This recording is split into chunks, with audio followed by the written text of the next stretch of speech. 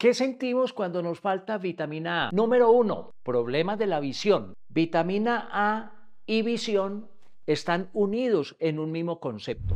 La vitamina A es esencial para la salud visual, por lo que la falta de esta vitamina podría producir dificultades en la visión, sobre todo en la visión nocturna, o también una disminución en la agudeza visual, es decir, incapacidad para ver en detalle y nítidamente. Número dos, cuando nos falta vitamina A, se produce sequedad en la superficie del ojo. Es como si tuviéramos arena en el ojo. La, deficiencia de esa vitamina A está relacionada con la sequedad del ojo y eso produce una irritación y obviamente una mayor susceptibilidad a las infecciones en la conjuntiva o incluso en la córnea de nuestros ojos. Número 3. La falta de vitamina A produce problemas de la piel. Es importante la vitamina A para manejar una piel sana. La falta de vitamina A podría provocar sequedad en la piel, descamación, enrojecimiento, prurito o picazón en la piel, como fruto de esa deshidratación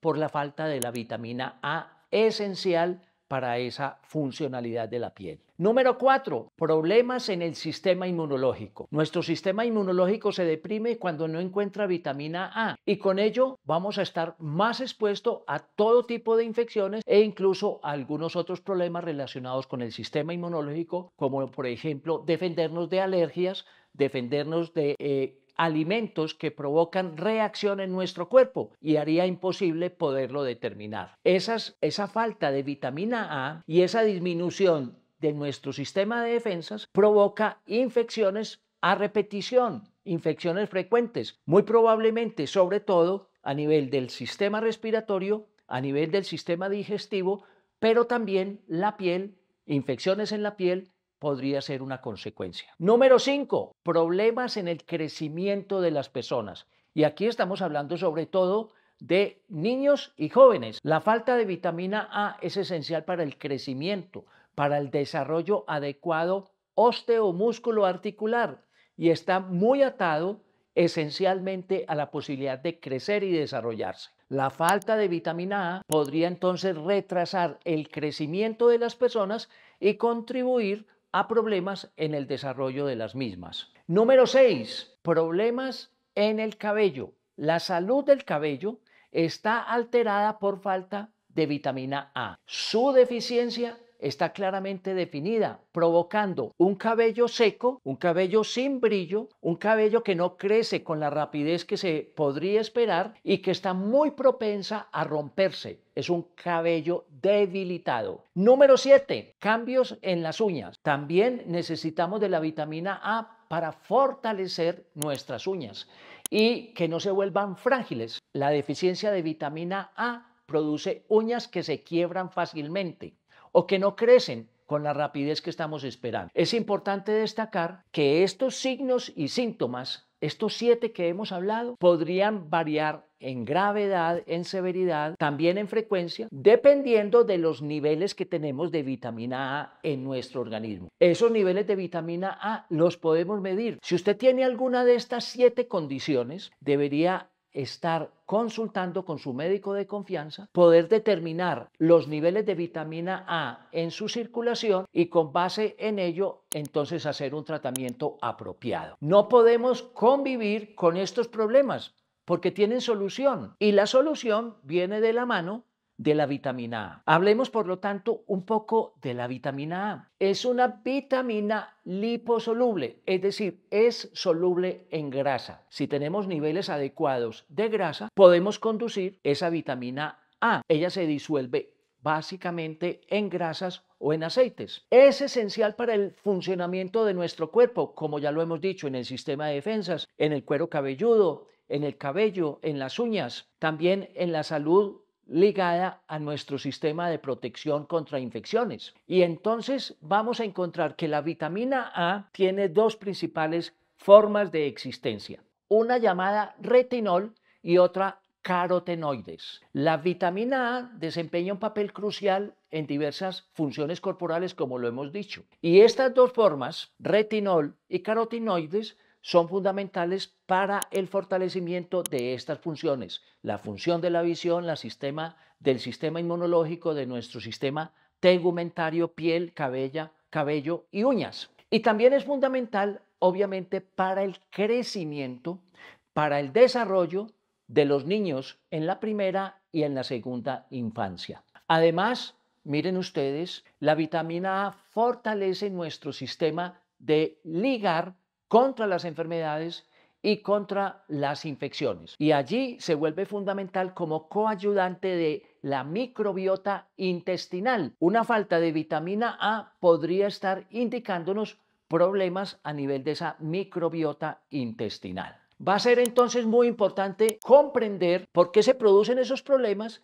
cuando hay ese déficit de vitamina A y dónde podemos encontrarla. Y aquí vamos a recordar, podemos ingerir suficiente vitamina A si tenemos una dieta equilibrada, una dieta variada, una dieta a la que no le falten los nutrientes esenciales. Por eso es recomendable, si encontramos algún déficit de vitamina A, nuevamente consultar. ¿Y dónde está la vitamina A? Mire, hay una fuente de origen de vitamina A que está en los animales. Y allí podemos encontrar vitamina A, por ejemplo, en las vísceras del hígado, sobre todo en animales como los bovinos, como los porcinos y en menor grado en el pescado y también en las aves. Esa fuente de vitamina A en las vísceras, sobre todo en el hígado, se vuelve muy importante para nuestro organismo.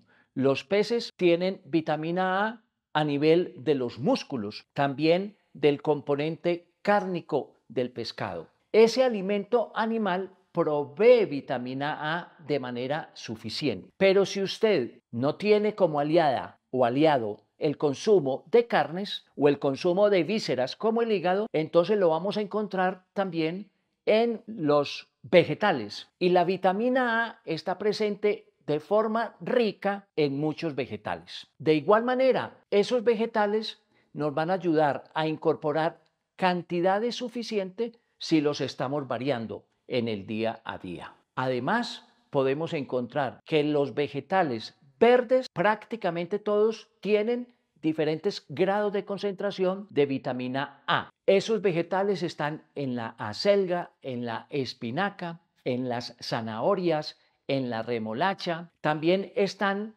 fundamentalmente en las frutas. En el caso de las zanahorias, hay un carotenoide muy importante, se llama beta-caroteno, fundamental como suministro y conversión en vitamina A. También está en las batatas, llamadas también camotes. Allí hay un alto contenido de beta-caroteno. Espinacas, acelga, tienen prácticamente en las verduras de hoja verde oscuro suficientes beta-carotenos que se convertirán en carotenoides en nuestro organismo. Como si eso fuera poco, los mangos, frutas como los mangos, los melones, son ricos en vitamina A, tienen alta concentración. También los albaricoques tienen un alto contenido de vitamina A. Y fuera de las frutas, miren, los huevos tienen alto contenido en vitamina A. Así es que podemos recurrir también al consumo de huevo como una fuente de suministro de la vitamina A. Y surge una pregunta muy importante. ¿Podemos tomar suplementos de vitamina A?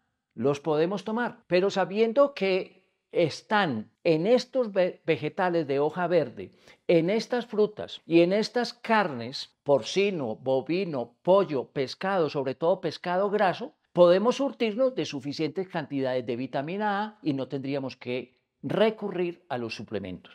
¿Cuándo es necesario acudir a un suplemento? Cuando definitivamente tenemos bajos niveles de vitamina A, los cuales podemos medir en la sangre y nuestro médico de confianza recomendará la mejor forma de consumir algún suplemento vitamínico de vitamina A.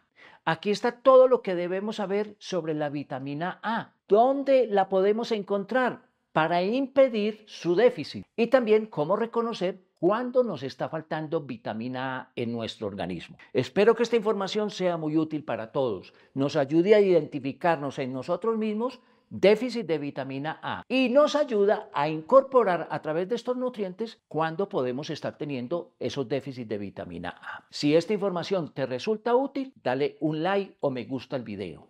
Recuerda compartirlo. Con información de salud no nos debemos quedar. Nos vemos en un nuevo video.